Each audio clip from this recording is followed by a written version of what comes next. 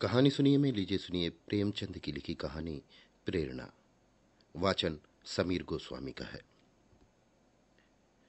मेरी कक्षा में सूर्य प्रकाश से ज़्यादा ऊधमी कोई लड़का न था, बल्कि यूँ कहो कि अध्यापन काल के दस वर्षों में मुझे ऐसी विषम प्रकृति के शिष्य से साबका न पड़ा था। कपट क्रीड़ा में उसकी जान बसती थी। अध्यापकों को बनाने और चढ़ाने, उद्योगी बालकों को छेड़ने और रुलाने में ही उसे आनंद आता था। ऐसे ऐसे षड्यंत्र रचता ऐसे ऐसे फंदे डालता ऐसे ऐसे मंसूबे बांधता कि देखकर आश्चर्य होता था। गिरोह बंदी में अभ्यस्त था। खुदाई फौजदारों की एक फौज बना ली थी और उसके आतंक से शाला पर शासन करता था। मुख्य अधिष्ठाता की आज्ञा टल जाए, मगर क्या मजाल कि कोई उसके हुक्म की अवज्ञा कर सके।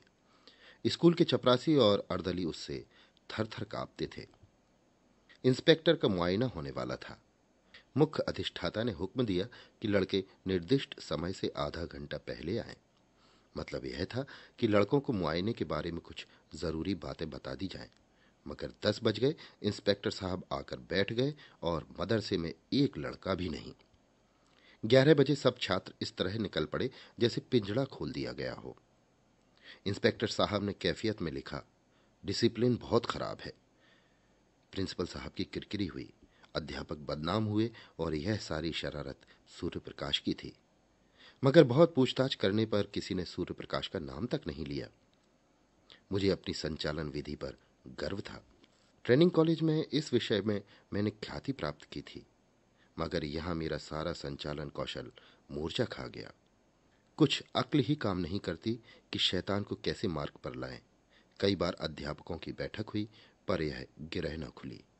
नई शिक्षा विधि के अनुसार मैं दंड नीति का पक्षपाती न था, मगर हम यहाँ इस नीति से केवल विरक्त थे कि कहीं उपचार रोग से भी असाध्य न हो जाए। सूर्य प्रकाश को स्कूल से निकाल देने का प्रस्ताव भी किया गया, पर इसे अपनी अयोग्यता का प्रमाण समझकर हम इस नीति का व्यवहार करने का साहस न कर सके।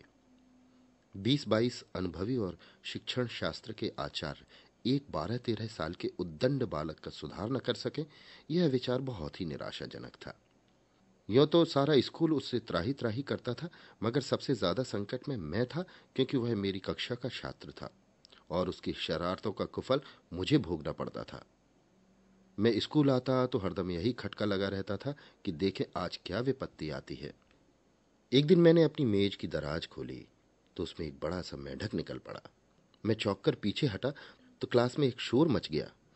उसकी ओर सरोष नेत्रों से देखकर रह गया। सारा घंटा उपदेश में बीत गया और वह पट्टा सिर झुकाए नीचे मुस्कुरा रहा था। मुझे आश्चर्य होता था कि यह नीचे की कक्षाओं में कैसे पास हुआ। एक दिन मैंने गुस्से से कहा, तुम इस कक्षा से उम्र भर पास नहीं हो सकते। सूर्य प्रकाश ने अविचलित भाव से कहा, आप मेरे पास होने की चिंता न करें। मैं हमेशा पास हुआ हूँ और अब भी हो ही जाऊँगा। असंभव असंभव संभव हो जाएगा। मैं साश्चर्य उसका मुँह देखने लगा। जहीन से जहीन लड़का भी अपनी सफलता का दावा इतने निर्विवाद रूप से न कर सकता था। मैंने सोचा, वह प्रश्न पत्र उड़ा लेता होगा। मैंने प्रतिज्ञा की, अब की इसकी एक चाल भी न चलने दूँगा। देखूँ, कितने दिन इस कक्षा में पड़ा रहता है। आप घबरा कर निकल जाएगा। वार्षिक परीक्षा के अवसर पर मैंने असाधारण देखभाल से काम लिया। मगर जब सूर्य प्रकाश का उत्तर पत्र देखा तो मेरे विस्मय की सीमा न रही। मेरे दो पर्चे थे, दोनों में ही उसके नंबर कक्षा में सबसे अधिक थे। मुझे खूब मालूम था कि वह मेरे किसी पर्चे का कोई भी प्रश्न हल नहीं कर सकता। मैं इसे सिद्ध कर सकता था, मगर उसके उत्तर पत्रों को क्या करता? लिपि में इतना भेद न था जो कोई संदेह उत्पन्न कर सकता। मैंने प्रिंसिपल से कहा तो वह भी चकरा गए मगर उन्हें भी जानबूझकर मक्खी निगलनी पड़ी। मैं कदाचित स्वभाव से ही निराशावादी हूँ। अन्य अध्यापकों को मैं सूर्य प्रकाश के विषय में जरा भी चिंतित न पाता। मानो ऐसे लड़कों का स्कूल में आना कोई नई बात नहीं। मगर मेरे लिए वो एक विकट रहस्य था। अगर यही ढंग रहे तो एक दिन वो या तो जेल में होगा या पागल खाने में। उसी साल मेरा तबादला हो गया। यद्यपि यहाँ की जलवायु मेरे अनुकूल थी, प्रिंसिपल और अन्य अध्यापकों से मेरी मैत्री हो गई। मगर मैं अपने तबादले से खुश हुआ, क्योंकि सूर्य प्रकाश मेरे मार्ग का काटा न रहेगा। लड़कों ने मुझे विदाई की दावत दी और सबके सब स्टेशन तक पहुँचाने आए। उस वक्त सभी लड़के आँखों में आँसू भरे हुए थे। मैं भी अपने आंसुओं को न रोक पाया। सहसा मेरी निगाह सूर्य प्रकाश पर पड़ी, जो सबसे पीछे लज्जित खड़ा था। मुझे ऐसा मालूम हुआ कि उसकी आँखें भी भीगी थी। मेरा जी बार बार चाहता था कि चलते चलते उससे दो चार बात कर लूँ। शायद वह भी मुझसे कुछ कहना चाहता था। मगर न मैंने पहले बातें की, ना उसने। हालाँकि मुझे बहुत दिनों तक इसका खेद रहा। उसकी झिझक तो क्षमा योग्य थी, पर मेरा अवरोध अक्षम था। संभव था उस करुणा और ग्लानी की दशा में मेरी दो चार निष्कपट बातें उसके दिल पर असर कर जाती। मगर इन खोए हुए अवसरों का नाम तो जीवन है। गाड़ी मंद गति से चली। लड़के कई कदम उसके साथ दौड़े। मैं खिड़की से बाहर सिर निकाले खड़ा था। कुछ देर तक मुझे उनके हिलते हुए रूमाल नज़र आए। फिर वे रेखाएँ आकाश में विलीन हो गईं। मगर एक अल्पकाय मूर्ति अब भी प्लेटफॉर्म पर खड़ी थी। मैंने अनुमान किया, वह सूर्य प्रकाश है। उस समय मेरा हृदय किसी विकल कैदी की भांति घृणा, मलिन और उदासीनता के बंधनों को तोड़ तोड़कर उससे गले मिलने के लिए तड़प उठा। नए स्थान की नई चिंताओं ने बहुत जल्दी मुझे अपनी ओर आकर्षित कर लिया। पिछले दिनों की याद एक हसरत बनकर रह गई। न किसी का कोई खत आया, न मैंने कोई खत लिखा। शायद दुनिया का यही दस्तूर है। वर्षा के बाद वर्षा की हरियाली कितने दिनों रहती है? संयोग से मुझे इंग्लैंड में विद्याभ्यास करने का अवसर मिल गया। वहाँ तीन साल लग गए। वहाँ से लौटा तो एक कॉलेज का प्रिंसिपल बना दिया गया। यह सिद्धि मेरे लिए बिल्कुल आशातीत थी।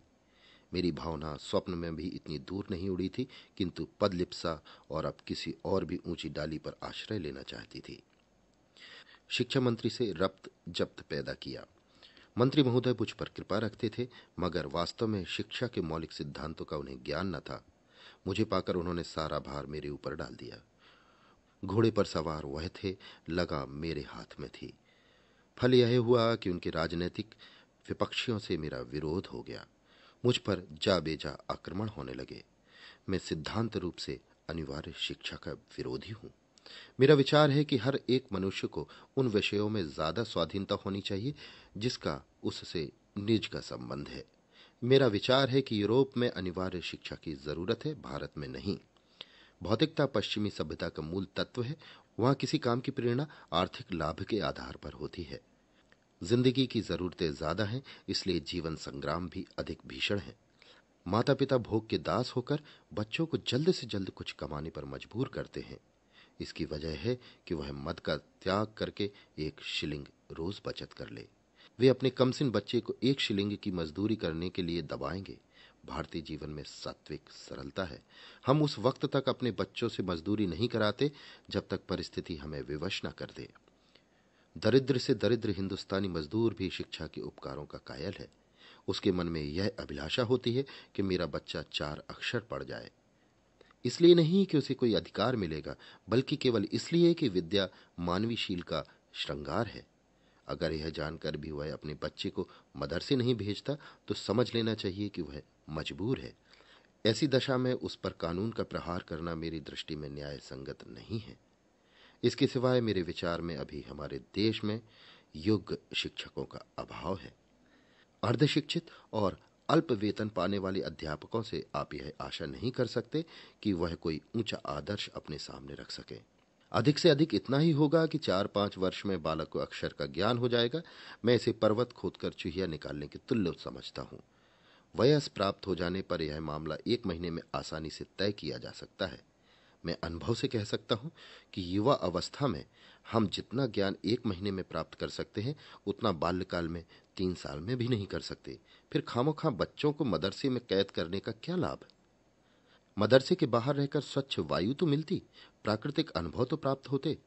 पाठशाला में बंद करके तो आप उसके मानसिक और शारीरिक दोनों विधानों की जड़ काट देते हैं। इसलिए जब प्रांतीय व्यवस्थापिका सभा में अनिवार्य शिक्षा का प्रस्ताव पेश हुआ तो मेरी प्रेरणा से मिनिस्टर साहब ने उसका विरोध किया। नतीजा यह हुआ कि प्रस्ताव अस्वीकृत हो गया। फिर क्या था? मिनिस्टर साहब और मेरी वह लेदे हुई कि कुछ न पूछिए। व्यक्तिगत आक्षेप किए जाने लगे। मैं गरीब की बीबी था। मुझे सबकी भाभी बनना पड़ा। देशद्रोही उन्नति का शत्रु और नौकरशाही का गुलाम कहा गया।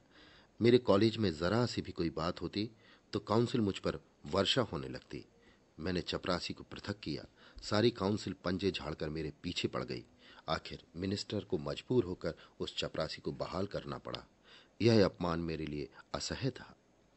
शायद कोई भी इसे सहन न कर सकता। मिनिस्टर साहब से मुझे शिकायत नहीं, वो मजबूर थे। हाँ इस वातावरण में काम करना मेरे लिए दुस्साध्य हो गया। मुझे अपने कॉलेज के आंतरिक संगठन का भी अधिकार नहीं। अमुक क्यों नहीं परीक्षा में भेजा गया? अमुक के बदले, अमुक के बदले अमुक को क्यों नहीं छात्रवृत्ति दी गई? अमुक अध्यापक को अमुक कक्षा क्यों नहीं दी जाती है? इस तरह के सारहीन आक्षेपों ने मेरी नाक में दम कर दिया। इस नई चोट ने मेरी कमर तोड़ दी, मैंने इस्तीफा दे दिया।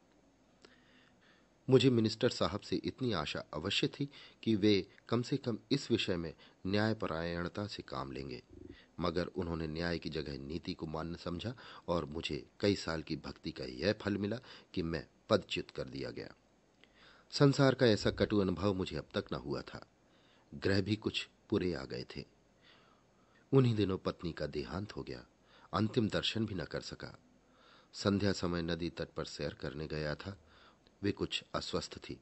लौटा तो उनकी लाश मिली। कदाचित हृदय की गति बंद हो गई थी। इस आघात ने कमर तोड़ दी। माता के प्रसाद और आशीर्वाद से बड़े बड़े महान पुरुष कृतार्थ हो गए थे। मैं जो कुछ हुआ, पत्नी के प्रसाद और आशीर्वाद से हुआ। वे मेरे भाग्य की विधात्री थी।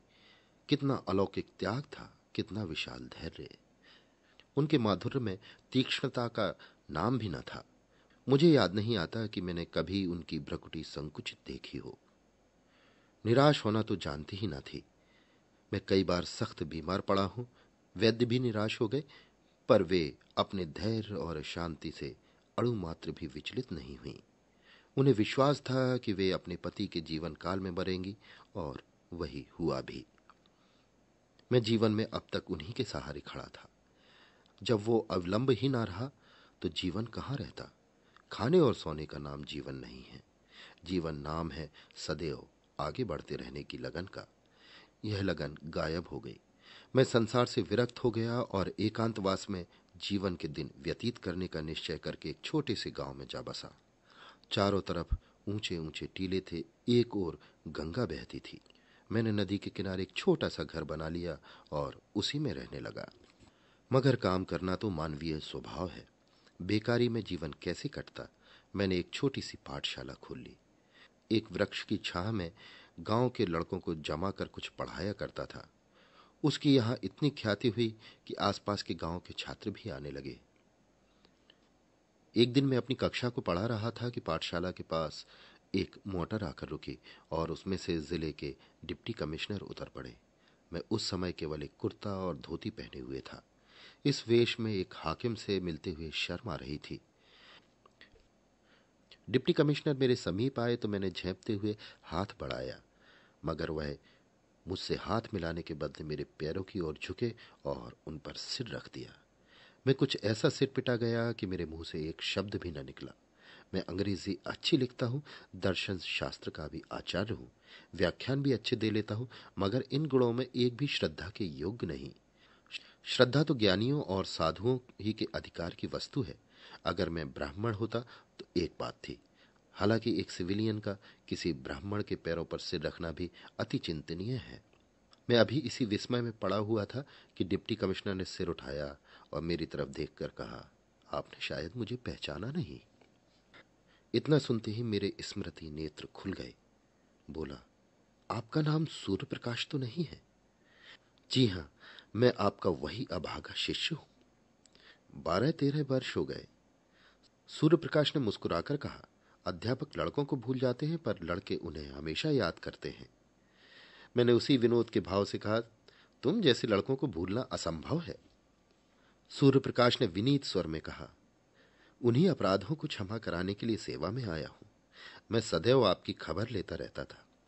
जब आप इंग्लैंड गए तो मैंने आपके लिए कई बार बधाई पत्र लिखा, पर उसे भेज न सका। जब आप प्रिंसिपल हुए, मैं इंग्लैंड जाने को तैयार था। वहाँ मैं पत्रिकाओं में आपके लेख पढ़ता रहता था। जब लौटा तो मालूम हुआ कि आपने इस्तीफा दे दिया और कहीं देहात में चले गए। इस ज़िले में आए, मुझे एक वर्ष से अधिक हुआ, पर इसका जरा भी अनुमान न था कि आप यहाँ एकांत सेवा कर रहे हैं। इस उजाड़ गाँव में आपका जी कैसे लगता है? इतनी ही अवस्था में आपने वानप्रस्थ ले लिया? मैं नहीं कह सकता कि सूर्य प्रकाश की उन्नति देखकर मुझे कितना आश्चर्यचकित आनंद हुआ। अगर वह मेरा पुत्र होता तो भी इससे अधिक आनंद ना होता। मैं उसे अपने झोपड़े में लाया और अपनी राम कहानी कह सुनाई।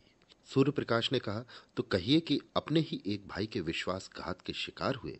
मेरा अनुभव तो बहुत कम है, मगर इतने ही दिनों में मुझे मालूम हो गया है कि हम लोग अपनी जिम्मेदारियों को पूरा करना नहीं जानते। मिनिस्टर साहब से भेंट हुई तो पूछूँगा कि क्या यही उनका धर्म था? मैंने जवाब दिया, भाई, उनका दोष नहीं। संभव है इस दशा में मैं भी वही करता जो उन्होंने किया। मुझे अपनी स्वार्थ लिप्सा की सजा मिल गई और उसके लिए मैं उनका ऋणी हूँ। बनावट नहीं सत्य कहता हूँ कि यहाँ मुझे जो शांति है, वो और कहीं ना थी। इस एकांत जीवन में मुझे जीवन के तत्वों का वो ज्ञान हुआ जो संपत्ति और अधिकार की दौड़ में किसी तरह संभव न था। इतिहास और भूगोल के पोथे चाटकर यूरोप के विद्यालयों की शरण जाकर भी मैं अपनी ममता को न मिटा सका। बल्कि यह रोग दिन दिन और असाध्य होता जाता था। आप सीढ़ियों पर पाँव रखे बगैर छत की ऊंचाई तक नहीं पहुँच सकते। संपत्ति की अट्टालिका तक पहुँचने में दूसरी ज़िंदगी ही जीनों का काम देती है। आप उन्हें कुचलकर ही लक्ष्य तक पहुँच सकते हैं। वहाँ सौजन्य और सहानुभूति का स्थान ही नहीं। मुझे ऐसा मालूम होता है कि उस वक्त मैं हिंसक जंतुओं से घिरा हुआ था और मेरी सारी शक्तियाँ अपनी आत्मरक्षा में लगी रहती थी। यहाँ मैं अपने चारों ओर संतोष और सरलता देखता हूँ।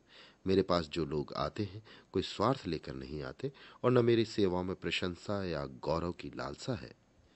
ये कहकर मैंने सूर्य प्रकाश के चेहरे की ओर गौर से देखा। कपट मुस्कान की जगह गिलानी का रंग था। शायद यह दिखाने आया था कि आप जिसकी तरफ़ से इतने निराश हो गए थे, वो अब इस पद को सुशोभित कर रहा है। वो मुझे अपने सदुद्योगों का बखान करना चाहता था। मुझे अब अपनी भूल मालूम हुई। एक संपन्न आदमी के सामने समृद्धि की निंदा उचित नहीं।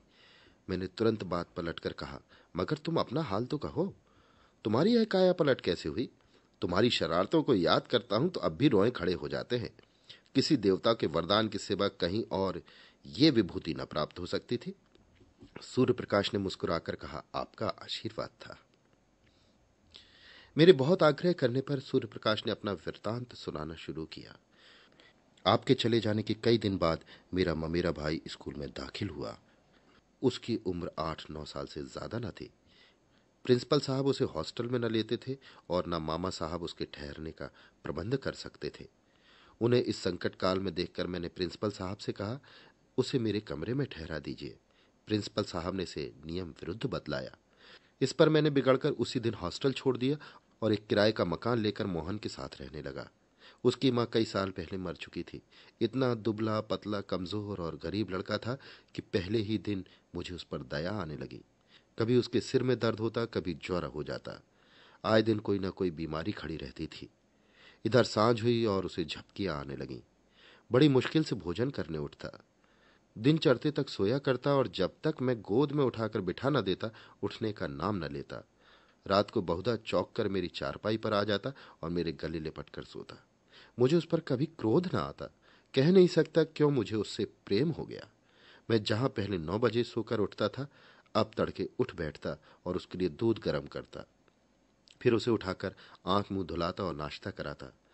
उसके स्वास्थ्य के विचार से नित्य वायु सेवन को ले जाता। मैं जो कभी किताब लेकर न बैठता था, इसे घंटों पढ़ाया करता। मुझे अपने दायित्व का इतना ज्ञान कैसे हो गया? इसका मुझे आश्चर्य है। उसे कोई शिकायत हो जाती तो मेरे प्राण नखों में समा जाते। डॉक्टर के पास दौड़ता, दवाएँ लाता और मोहन को खुशामद करके दवा पिलाता। सदैव यही चिंता रहती थी कि कोई बात उसकी इच्छा के विरुद्ध न हो जाए। उस बेचारे का यहाँ मेरे सिवा दूसरा कौन था? मेरे चंचल मित्रों में से कोई उसे चिढ़ाता या छेड़ता तो मेरी त्योरियाँ बदल जाती थी। कई लड़के मुझे बूढ़ी दादी कहकर चिढ़ाते थे, पर मैं हंसकर टाल देता था। मैंने उसके सामने एक भी अनुचित शब्द मुँह से नहीं निकाला। यह शंका होती थी कि कहीं मेरी देखा देखी यह भी खराब न हो जाए। मैं उसके सामने इस तरह रहना चाहता था कि मुझे अपना आदर्श समझे और इसके लिए यह मानी हुई बात थी कि मैं अपना चरित्र सुधारूं। वो मेरा नौ बजे सोकर उठना, बारह बजे तक मटर गश्ती करना नई नई शरारतों के मंसूबे बांधना और अध्यापकों की आँख बचाकर स्कूल से उड़ जाना, सब आप ही आप जाता रहा। स्वास्थ्य और चरित्र पालन के सिद्धांतों का मैं शत्रु था पर अब मुझसे बढ़कर उन नियमों का रक्षक दूसरा न था। मैं ईश्वर का उपहास किया करता था, मगर अब पक्का आस्तिक हो गया था। वो बड़े सरल स्वभाव से पूछता, परमात्मा सब जगह रहते हैं तो मेरे साथ भी रहते होंगे? इस प्रश्न का मज़ाक उड़ाना मेरे लिए असंभव था। मैं कहता, हाँ, परमात्मा तुम्हारे, हमारे सबके पास रहते हैं और हमारी रक्षा करते हैं।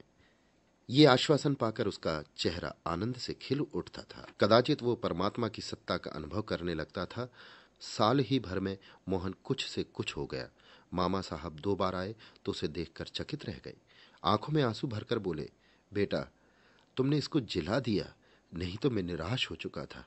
इसका पुनीत फल तुम्हें ईश्वर देंगे। इसकी माँ स्वर्ग में बैठी हुई आशीर्वाद दे रही है। सूर्य प्रकाश की आँखें उस वक्त भी सजल हो गई थी। मैंने पूछा, मोहन, तुम्हें बहुत प्यार करता होगा।